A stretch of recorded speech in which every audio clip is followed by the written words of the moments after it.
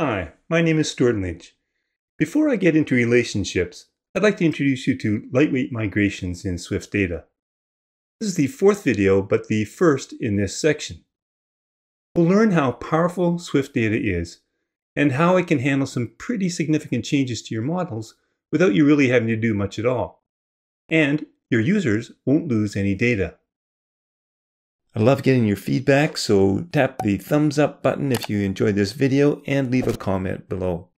Make sure you subscribe to the video and ring that bell to get notifications of new videos. And if you want to support my work, you can buy me a coffee.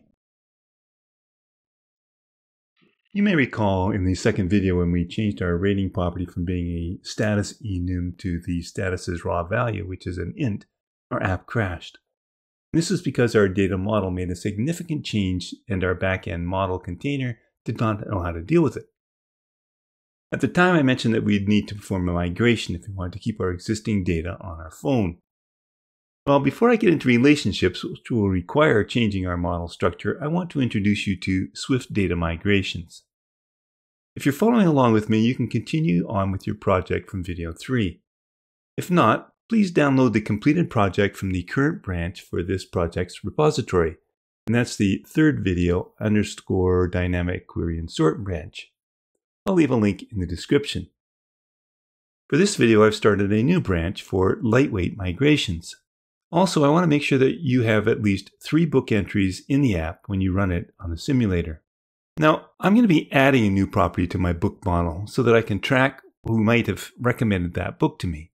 Well, I can do this in two ways. I can create a property as an optional string, or I can create it as a string and give it a default value like an empty string when I create a new book, as we did with summary.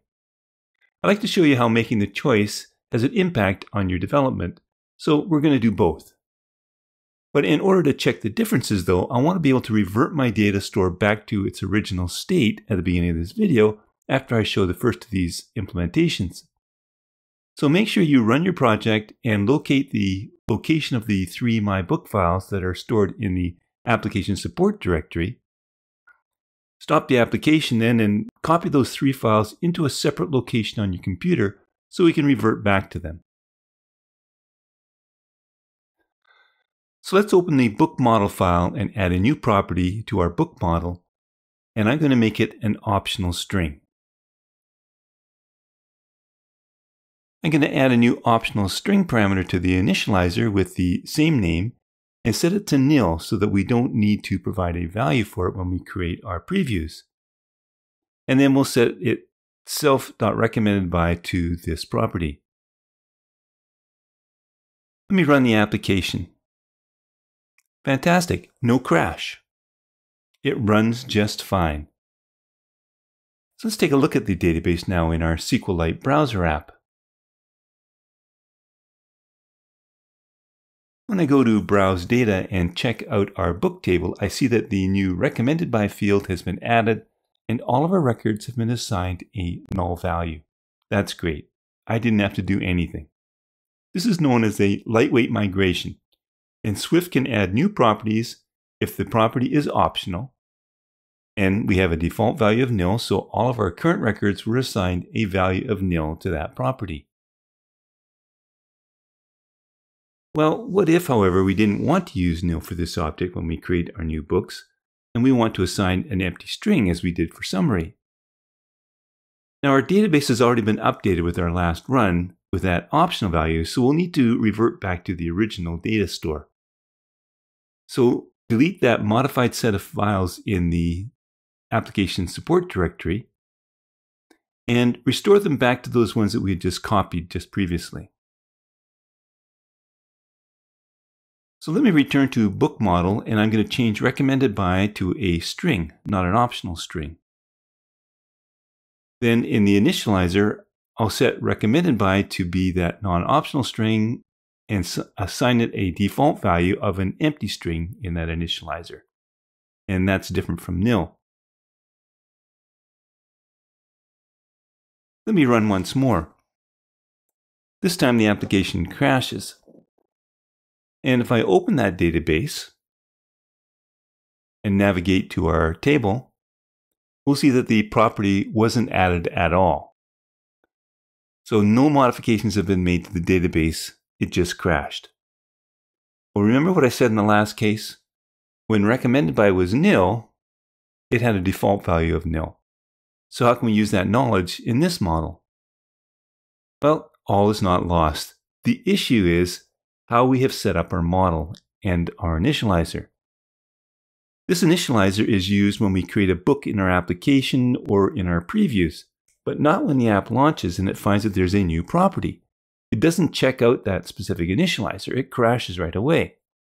Well, the solution is to set the default value at the source where we declare the property and not just in the initializer. And this is going to be really super important when we start looking at CloudKit. And this is very significant, but more on that in a later video. We can leave our initializer as is because that will give us an option of specifying a different value recommended by when we create our new preview data. So if I run the application now, it doesn't crash. Everything's great. And if I open up this in our DB browser to take a look at the SQL database in the back end and navigate to our books,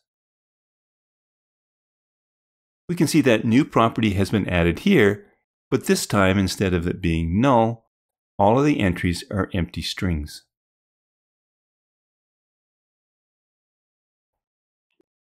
Okay, moving on now. What if we wanted to rename a property? For example, summary may not be a great name for this property. What if we wanted to call it synopsis instead? So in this model, let me refactor and rename that property to synopsis. Then let me fix the initializers parameter to be synopsis too. Then I'm going to go to Edit Book View where this is used, and I'll refactor the summary property here to be synopsis too.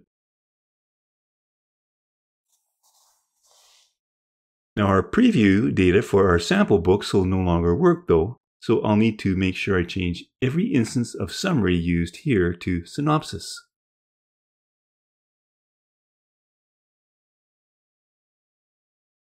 Well, it compiles just fine, but when I run the app, it crashes.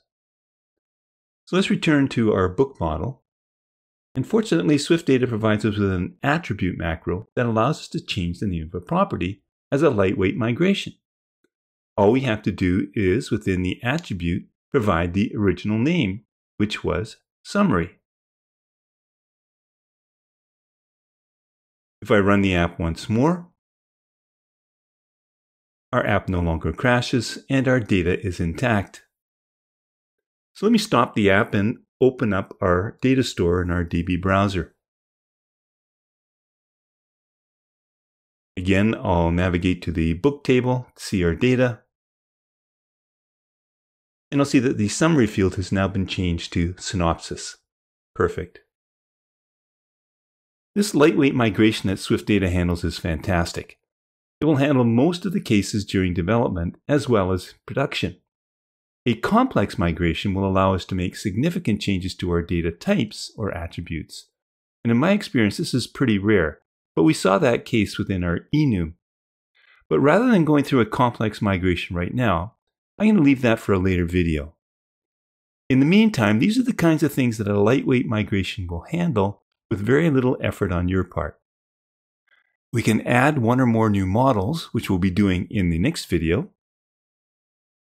We can add one or more new properties so long as we provide a default value or it's optional as we just saw.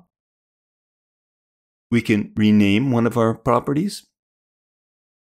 And although we didn't show it, we could have deleted one from our model. Now there are some other things that a lightweight migration will do as well. If you're storing data in a Swift data model in one of your properties, you can assign an external storage attribute, and you can add or remove this, and a lightweight migration will handle this. As being encrypted, you can assign that as an attribute as well. Adding and removing this attribute is handled by a lightweight migration. And then there's another attribute that will guarantee that each property is unique. So you can add that attribute, but only if the existing values are already unique. And this will enforce all new properties to be unique.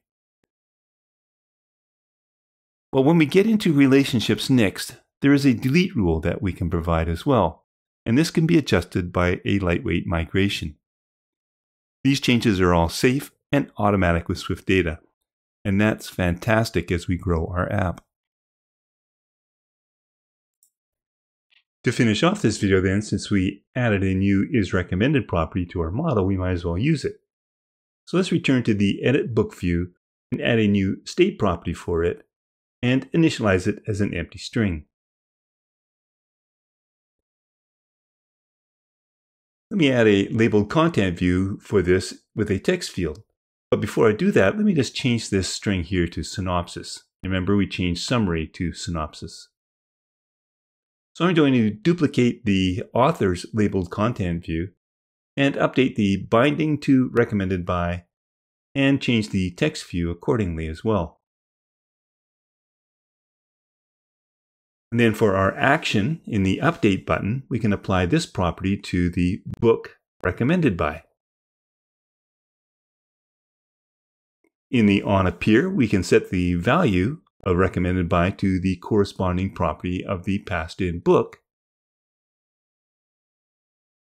And then for our changed computed Boolean property, we'll add another OR statement to check to see if the recommended by property is not equal to the one that was passed in by the book. Now our preview still works because our books sample books array at index 4 has a default empty string for the recommended by. If you want, you can go back to the book samples file and add a new property for this example. Now remember when we added that property in our initializer, we added it as the last property, so we'll need to add it in that order in our samples after the status property. So we'll say it's recommended by Stewart Lynch. When I return to our edit book view, I see it's there. Let me test this in the simulator by adding a recommended by to one of our books and verify that, in fact, it gets persisted to the database.